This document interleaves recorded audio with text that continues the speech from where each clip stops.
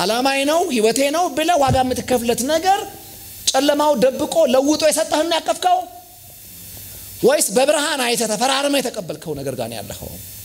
ሲነጋ የማትቆጭበት ትጋት ላይ ነው ያለኸው። ከአራት ዓመት በኋላ የምትቆጭበትን ነገር ለምን አሁን ትጀምረዋለህ?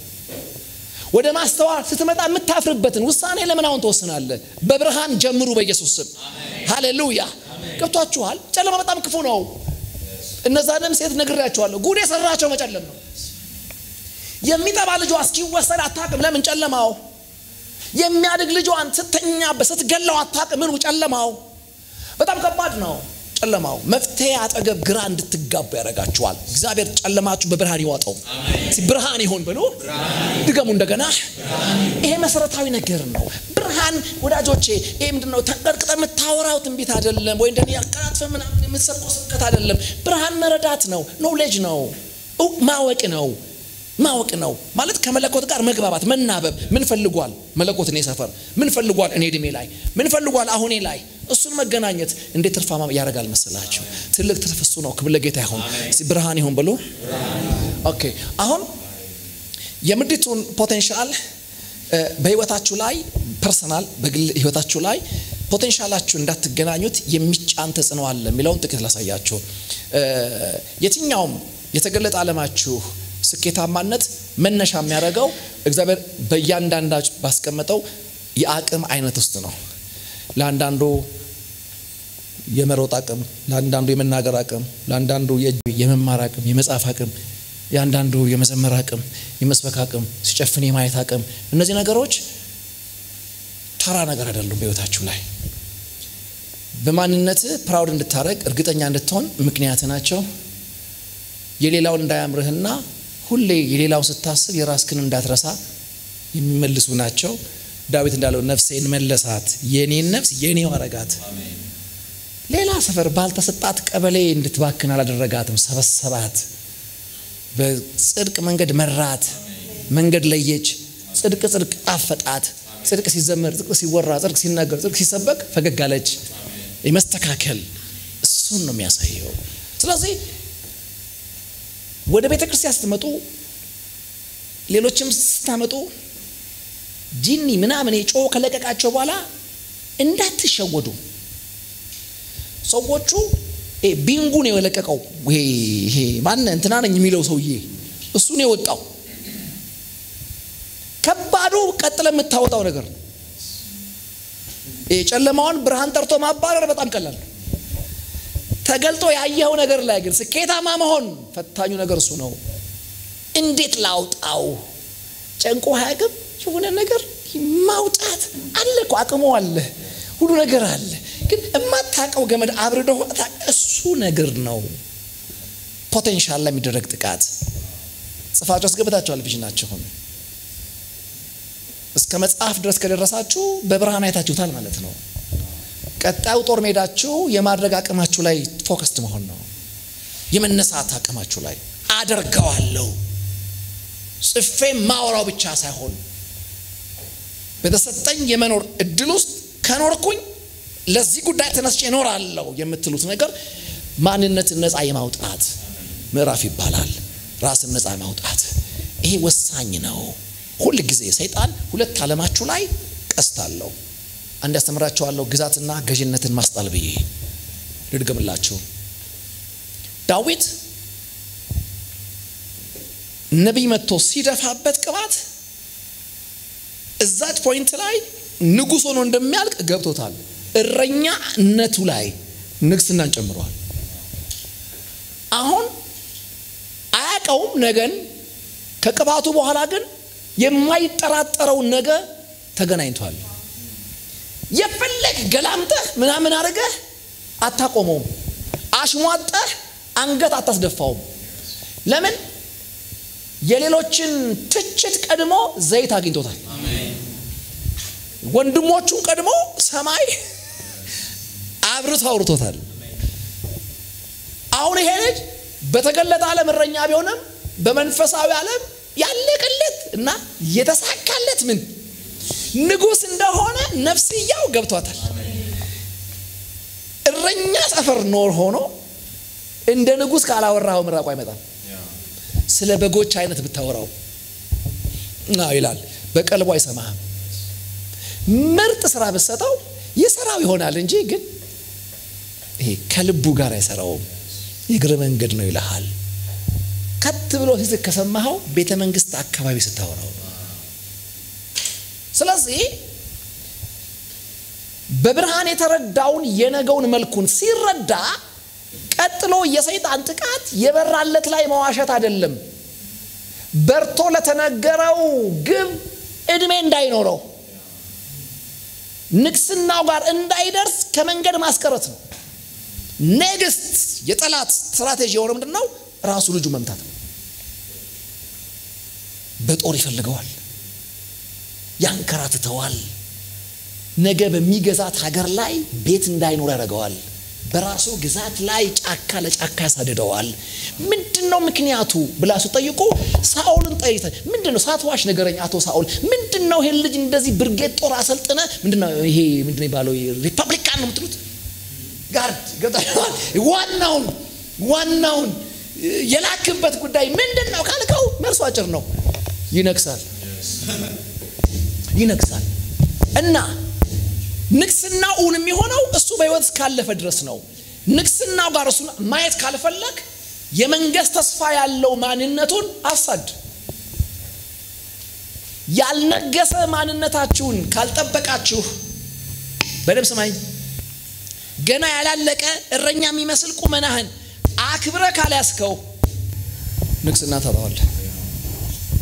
አሁን ያለበት ደሞዝ፣ አሁን ያለበት stage፣ አሁን ያለበት ተጽዕኖ አሁን ያለበት ደረጃ እረኛ ሊሆን ይችላል።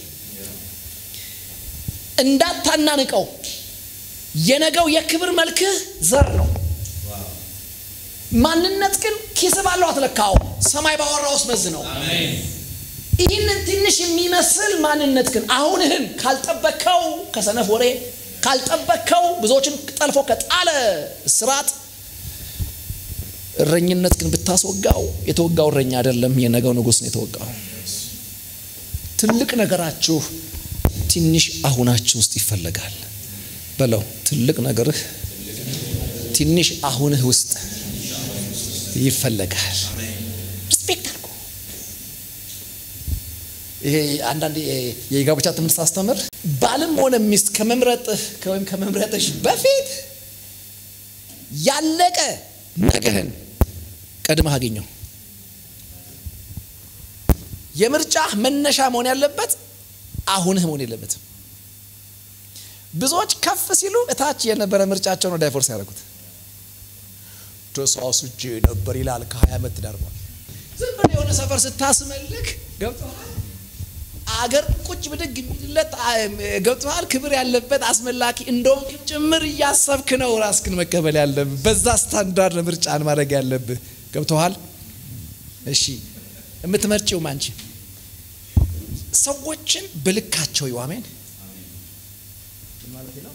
አንዳንዱ ኪሱን ባዶ ነው፣ ውስጥ ባዶ መቶ ሀኔ ማሬ ምናምን ቢል ማር ካማራው ንብ ይፈልግ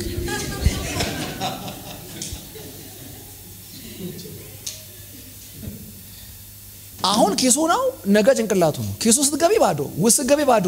ምን ሊያደርግ የሰው ልጅ ምን ልታደርግ? አንዳንዶች አሁናቸው አያወራቸውም፣ ግን bright future አላቸው። አስተዋይ ሴቶች ኪሱን ሳይሆን እሱን ያገቡታል። አስተዋይ ወንዶች ምንድን ነው ነገው በኪሱ ወይ በ mind ኡም vision ግብ ከሌለው የሁለት ዓለም ድሃ ብታገቡትም ወንድ ነው፣ ባል አይሆንም። ሴት ናት፣ ምን አትሆንም? ሚስት አትሆንም። ለዚህ ምን ብያለሁ? ሰርተህ አግባ የሚል ምዕራፍ ጽፌላችኋል። ምን አድርግ ማለት ያለቀ እንትን ላይ ለሀያ አትጋድሉ። አፈር ግጦ ምናምን አድርጎ ከፍ ያለ ሰው ላይ ለአስር አትጋብጅ። አንድ ቆንጆ ላይ ለሀምሳ ምን ታደርጋል? ተገንጠል ወረድ በል ትንሽ ጫር ጫር ብታረግ አፈር የለበሰ እንቋል አለውልሽ ብትል አሜን ነው። ወንድም ብትሆናት አባት ብትሆናት ኢንካረጅ ብታረግ የምትሰራው ሰው አለ። ጥቂት አፈር የለበሱ እንቁዎች አሉ። ሰርተህ አግባ።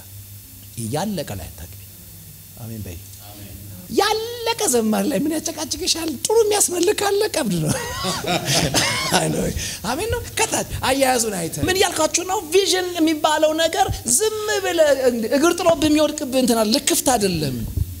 በብርሃን የምታየው ነው። ላየው የምትዘጋጅለት ነው። የምትጠነቀቅለት ነው። ራሳችሁን ጠብቁ። አሜን ነው። ክብር ለጌታ ይሁን። ማለት እንዴት ላስረዳችሁ? አሁን ለምሳሌ ላጤ ከሆናችሁ እኮ ባላችሁም ላጤ ነው አለ ተማሪ ከሆንክ እዛው ክላስ ምቶ ነው ነው ትምህርት እንዲገባ ጸልይ። ለማጣቃት ጮኛ ጌታ ሆይ አእምሮዋን ክፈቱ። አሜን ነው ወይ? እኔ እኮ እየመከርኩ ነው ያለሁት። ስሙ ባላቀውም ያልቅ አሜን ነው። ጸልይ፣ ተዋጋ፣ ሰነፍ እንዳትወድቅ። አልገባህም? እንዲህ አቢጊያን የምታክል ሴት ናባል እጅ እንዳትወድቅ። ለምን ሮጦ የመጣ ይመስላል ዳዊት ሰነፉ ሲገልለት ሌላ ሰነፍ እንዳይጨም እንዳይደግማት። no no አለ መፍጠን አለብኝ አለ። ሀዘን ሊደርሳት ሄደ እንዳይመስል። ባሏ ሞተ ሲሉት ፈትለክ ነው ያለው።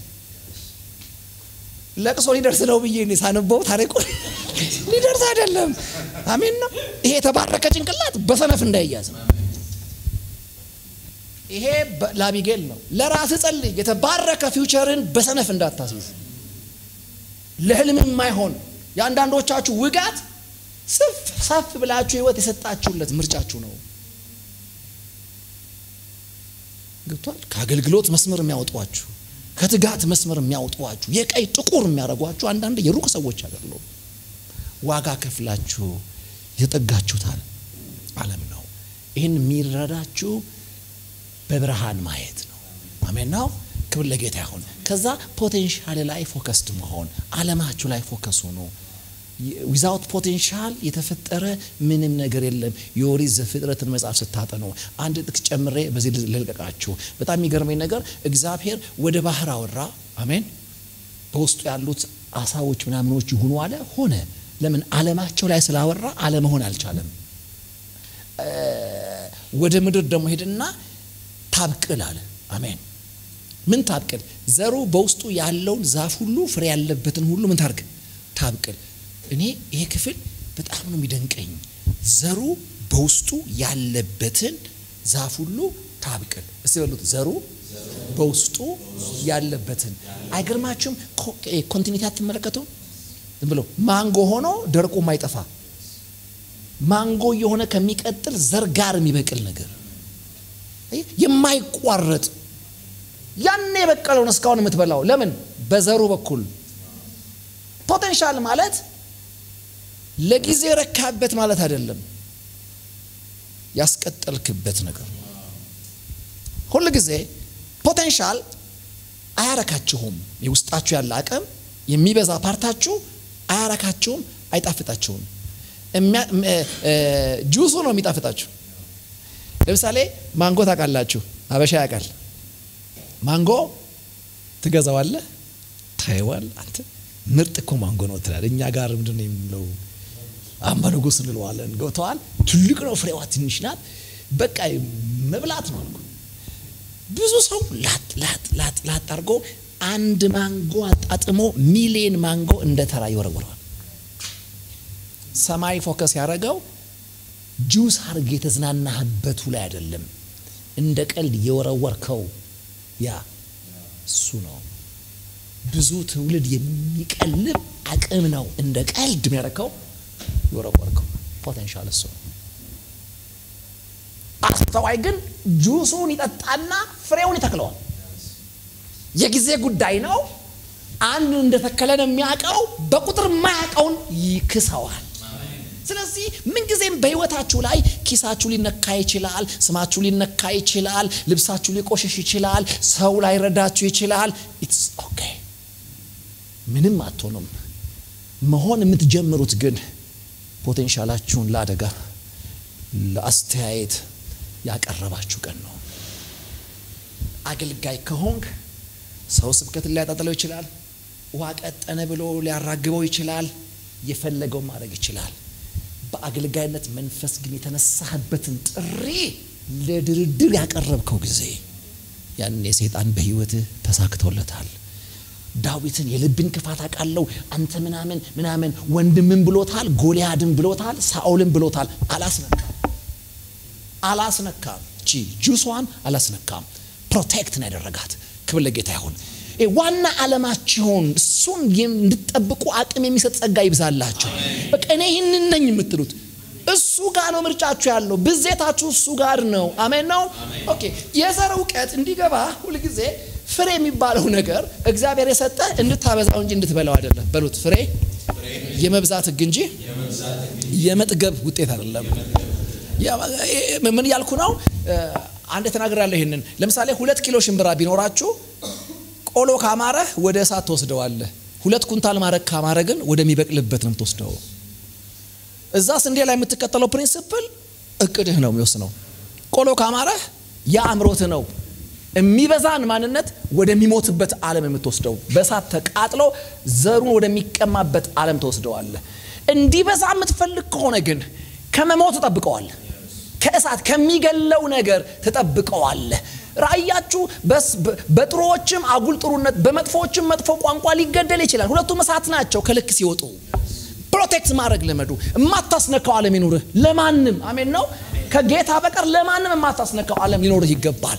እሱ በጣም ከባድ part ነው፣ መሰረታዊ ጉዳይ ነው። አንዳንድ ሰዎች ዘር ሲበሉ አይታችኋል፣ ይደራደራሉ ዓለማቸው ላይ እግዚአብሔር አክብሯቸው ታላቅ አገልጋይ ሲያደርጋቸው ሀገር ሲሰማቸው ሰይጣን ጠብቆ ጠብቆ በማይሰሙበት ጊዜ እኮ ታማኝ ሆነው የኖሩ ሰዎች ናቸው። ለመራብ የፈቀዱ ሰዎች ናቸው። ከአንተ ውጪ ሌላ በቃ አያምረኝም ያሉ ሰዎች ናቸው። የበቀደም ትጋታቸውን አይቶ እግዚአብሔር ሲድር ሲኩላቸው account ኣቸው ለራሳቸውም ለመቁጠር እስኪሰለቻቸው ድረስ ያየ ሁሉ ቼክ ሲበትንላቸው አይገርማቸውም? ዋናውን ዓለም በሚዲያ አስቀጠቀጡት።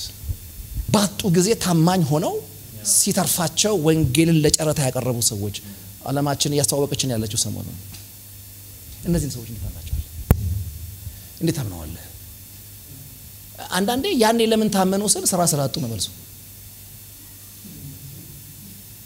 አልገባም። ሌላ መሆን ስለማይችሉ ገብቷል። በሶ እየበጠበጠ ቀዳዳ ጫማ እንደዚህ እንደዚህ እያለ የመሰከረው ሁሉ ሁሉ ሌላ ጫማ ማምጣት ስለማይችል ያኔ መሆን የሚችለው church pulpit ጀርባ መቆም ብቻ ስለነበር ነው። እችን የሚያቅ ሰይጣን ብር በብር አደረገው። church ቀማው፣ መድረክ ቀማው፣ ትውልድ ቀማው፣ እንጀራ ሰጥቶ አያችሁ፣ የህይወትን እንጀራ ቀማው። ከዚህ ከፍታ ላይ ከመመታት እግዚአብሔር ጠብቃችሁ። ወጥቶ ወጥቶ ወጥቶ ለሁሉ ኢላማ ስትሆን ጠብቆ ከሚወረወር ቀስት እግዚአብሔር ይጠብቃችሁ። ሁሉ ነገር የታች ለቃሜን ነው። ጦሩ የሚፈልገው ውሳኔህን ነው። ለወንጌል የሆንከውን አየህ፣ እሱን ይፈልገዋል። ጨለማውም ይደብቀዋል። potential በጣም መሰረታዊ ነገር ነው። ሽምብራውን ስትቆላው አበሻ አበሰለው ነው የሚል፣ ሳይንስ ግን ገደለው ነው የሚል። የተቆላውን ብዘራው ስለማይበቅል ገደልከው ነው የሚባለው። አንዳንድ ሰዎች በሰሉ ሲባሉ ለካ ተቆልተው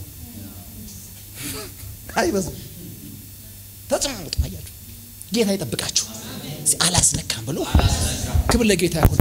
ባይዘው ወይ ይሄ የአስራት ህግ የመቀበልና የመስጠት ህግ የጀመረው ኦሪት ዘፍጥረት ነው። ዘሩ በውስጡ ያለውን ነው የሚለው። ምንም ሚስትህ ውስጡ ዘር አለ። መልሰህ ለሰጠህ የምትሰጠው ምን አለ? ዘር አለ። አንዳንዴ አስራትን ከአብርሃም ሲጀምሩት ሳቄ ይመጣል። ኖ ከፍጥረት ነው የሚጀምረው። ውድቀትን ቀድሞ የነበረ ነው። ከመሬት ይዘግናል አዳም ይበላል፣ መልሶ ለሰጠው መሬት ይሰጣል። እንዲህ ነው የሚሄደው። እኔ አላቅልህም እሱን ነገር እኔ አይገባ። አንዳንድ ጴንጤ መርጦ መርጦ ማይገባው ጥቅሳል። አንዳንዱ መርጦ መርጦ ጾም ጸሎት አይገባው። በአዲስ ኪዳን ምን ያደርጋል ይልሃል። ረሃብ ስለማይችል ነው እንጂ እኮ አዲስ ኪዳን ስለማያወራ አይደለም። አስራት አዲስ ኪዳን አይደለም ይልሃል። ብሉይ ኪዳን እንኳን ካዘዘ አዲሱማ እንዴታ የሚለውን ጥቅስ ንገረው። ይሄኛውማ እንዴታ ገብታ ሰው አቀላጥፎ ስላወራው አትፋቀው። ብበላው ምን ሆናለሁ ካልክ መልሱ ልንገርህ። ማንጎ አሁን ስትሄድ ግዛ፣ ከዛ ጁሱም ብላ፣ ከዛ በኋላ ደግሞ ፍሬውንም ፈጭተህ ብላ። ያን ይገባሃል። የተፈቀደልህ part ይጣፍጥሃል። ዘር የተባለው part ግን vomit እስኪያረግህ ድረስ ለምን ለአንተ አልተሰጠም?